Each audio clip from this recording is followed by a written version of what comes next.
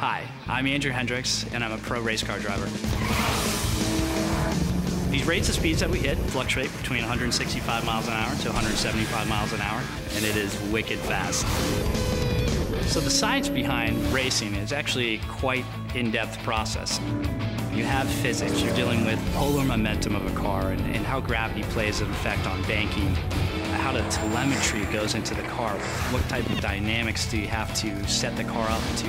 And once you get it right, that's when you know that you're actually on track with how to, how to make these components sing in a symphony.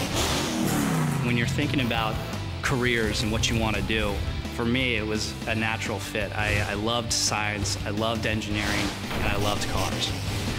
My father has told me that if you do what you're passionate about, you never work a day in your life. So here I am. Doing 170 miles an hour in the name of science, that's a head rush.